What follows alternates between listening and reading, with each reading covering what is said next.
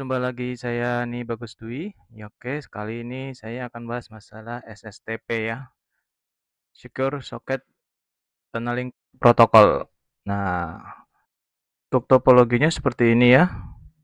Di sini ada uh, user di luar kantor. Dia menggunakan modem internet mau connect ke server ya yang 10.11.11.100 sama ada uh, user di posisi kantor client branch ini. Sama dia akan akses ke server HO menggunakan SSTP oke pertama kita buka winbox-nya dulu. Oh keliru. Ini yang C1 ya ini client branch. Oke kita cari yang winbox mikro 3HO oke mana winbox? Kita buka winbox dulu nih Oke, kita pilih yang Mikrotik HO karena kita akan setting dulu di sisi uh, server HO-nya. Oke, ini ya yang Mikrotik HO kita buka connect. Nah, di sini kita sudah masuk ke Mikrotik HO-nya, lalu nah kita ke PPP ya. Ini PPP. Di situ kita lihat ada PPTP yang sebelumnya kita bikin lalu kita ke SSTP server. Kita centang enable. Lah untuk eh, profilnya kita pilih yang VPN yang pernah kita bikin sebelumnya ya. Lalu untuk sertifikat ini tidak wajib ya. Karena untuk mikrotik ketemu mikrotik SSTP itu tidak perlu pakai sertifikat.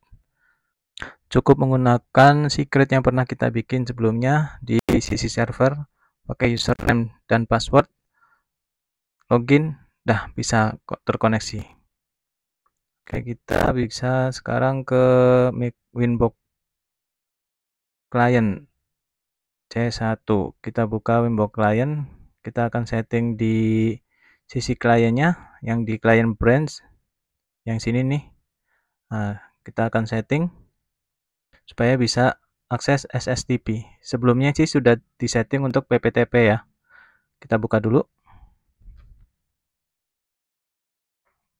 Oke, nah ini di PPP sudah ada settingan buat PTP, eh, PPTP ya. Ini yang sebelumnya uh, di video sebelumnya kita bikin. Lalu di sisi server masih terkoneksi ya, dynamic running. Ini PPTP-nya masih terkonek. Oke, bisa dilihat ini di sini ada warna merah nih PPTP connection are considered unsafe. It suggests to use more modern VPN protocol. Oke, sudah ada warning di situ PPTP jangan digunakan ya. Dilihat di sini di sisi server untuk encodingnya itu kosong. Oke kemudian kita ke sisi klien kembali kita buka interface kita buat SSTP client. Oke lalu ke tab general. Di sini otomatis terisi ya. Kita ganti SSTP C1 Oke, SSTPC SSTPC1. Lalu untuk downloadnya kita isi dengan IP address uh, public dari Mikrotik HO-nya. 192.168.152.139. Portnya standar saja 443. Lalu untuk sertifikat uh, untuk klien kan belum import nih. Kita non aja nggak apa-apa. User kita masukin sebelumnya kita bikin oh keliru nih bukan klien. VPN strip client ya usernya ya di secret mikrotik HO sebelumnya sudah kita bikin. Lalu kita isikan passwordnya. Setelah itu cukup ini aja sih yang kita isi ya. Karena untuk uh, klien mikrotik, server mikrotik, sertifikat tidak perlu. Kita apply, oke. Okay. Nah, ini sudah muncul interface-nya dan running. Di sisi server juga sudah langsung dynamic running.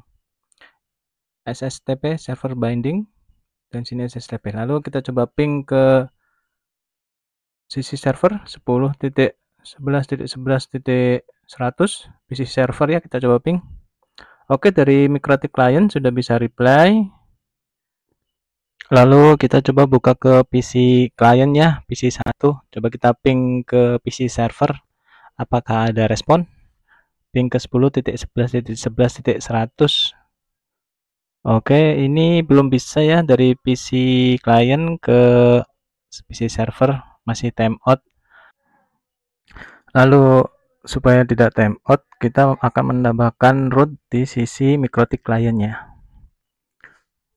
Oke, kita ke IP root yang di sisi mikrotik client, kita tambahkan new root, destination destination addressnya ke 10.11.11.0/24. Untuk gateway-nya kita pakai yang interface SSTP C1. Nah, kita pakai ini copy. Kita copy dulu name-nya. Lalu di root-nya kita pastekan di gateway-nya. Kita apply, oke. Okay. Setelah itu mari kita coba, ini sudah muncul ya, kita coba ping lagi ke PC server. Oh, masih timeout. Ini kenapa? Karena dari server belum ada jalur baliknya ya. Berangkatnya sudah ada nih. Nah, dari sini dari klien ke server sudah ada. Cuman pada saat sampai ke server, dia tidak merespon. Tidak ada jalur baliknya. Kita tambahkan di sisi server rootnya lagi. New root seperti biasa. Destination address, address 10.11.12/0/24. Lalu gateway-nya ke kita buka interface-nya dulu. Sebentar, interface. Nah, ini nih, interface yang SSTP VPN client kita copy. Lalu kita pastekan di rootnya tadi. Mana tadi rootnya nih? Sebentar, mana sih rootnya tadi? Ketutupan. Nah, ini nih. Di new root ini kita pastekan di gateway ini. Setelah itu kita apply dan oke. Okay. Lalu setelah terbentuk nih kita coba di PC client 1 apakah bisa ping ke PC server? Kita coba ping lagi. Oke sudah bisa ya. Jadi ini harus dari client dan server. Ini harus dikasih rootnya masing-masing. Supaya pada jalan berangkat sama jalan pulangnya ada jalurnya gitu. Demikian. Untuk dari sisi mikrotiknya client server settingannya seperti itu ya Lalu kita lanjut ke bagian sisi klien yang eksternal di luar Office ya. Ini pakai Windows 10. Kita start dulu nih Windowsnya. Dia akan membuka virtual mesin secara otomatis. Kita tunggu sampai dia terbuka, sampai masuk ke dalam Windowsnya ya.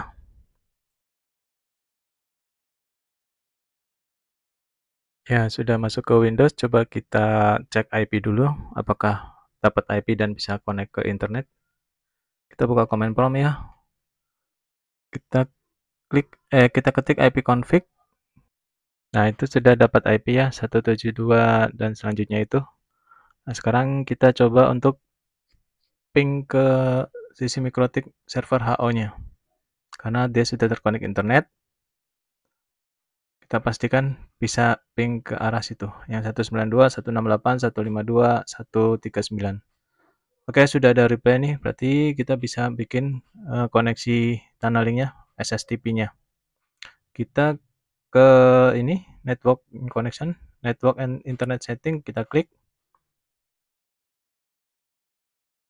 Oke terus ke bagian VPN oh saya udah pernah bikin ya.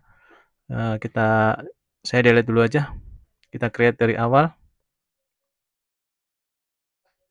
Kembali add a VPN connection. VPN providernya Windows built-in. Kita kasih nama SSTP C2 ya. Lalu server name-nya ini oh alamat IP publiknya kita masukin ke sini. 192 168 152 139 Oke. Sebentar, ini kok masih nge Oh, ini VPN providernya belum di kita isi ya. Kita isi VPN type-nya ke yang SSTP, Secure Socket Tunneling Protocol. Username kita isi VPN strip client. Lalu passwordnya kita isi.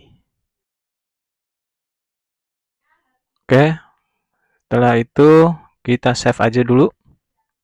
Nah, supaya SSTP ini bisa connect ke Mikrotik, kita harus install sertifikat yang sudah di-create di Mikrotik bagian server di HO-nya. Kita cari dulu sertifikatnya ini sudah ketemu, kita double klik. Lalu kita klik install sertifikat, pilih yang lokal mesin. next uh, yes saja oke kita pilih manual ya. Pilihan trusted root. Next finish. Oke lalu setelah ini baru yang uh, kliennya. Kita juga import juga. Install sertifikat. Lokal mesin juga. Next. Iya saja. Lalu kita pilih manual ya letakkan manual. Seperti biasa di trusted finish. Oke sudah itu sudah terinstall semua sertifikatnya nih. Kita coba baru koneksikan kita konekkan SSTP C2 VPN nya kita connect. Complete oke statusnya. Connected ya. Jadi dari PC Windows 10 di luar apa client branch di luar kantor sudah terkoneksi nih. Untuk IP-nya dapat 10.10.10.197 ya oke coba kita ping ke server PC server di Mikrotik uh, di sisi HO 10.11.11.100 kita coba ping sudah ada reply ya. Oke, jadi dari uh, klien di luar kantor juga bisa akses ke Mikrotik uh, apa PC server. Ini saya akan tunjukkan uh, bahwa di sini di bagian Mikrotik HO server sudah terkoneksi ada dua ya, yang satu dari klien branch, yang satu dari PC. Apa Windows 10 yang di luar uh, kantor. Ini IP-nya sama kan? Oke, lalu saya akan tunjukkan juga nih untuk kenapa PPTP itu tidak dipakai. Bukan tidak boleh, eh, dianjurkan tidak digunakan karena dia tidak ada inskripsinya. Coba kita nyalakan lagi yang di eh, klien. Nah, ini sudah terkonek ya. Untuk PPTP-nya yang di klien klien brand sama server harus terkonek. Kita cek di active connection. Bisa dilihat di sini untuk active connection untuk PPTP ini encodingnya kosong ya jadi dia tidak aman